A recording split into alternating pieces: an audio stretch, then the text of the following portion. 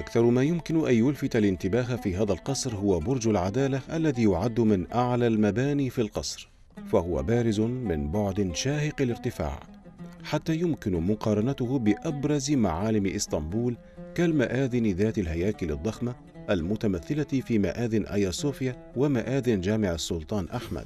تم بناء البرج في عهد السلطان محمد الفاتح.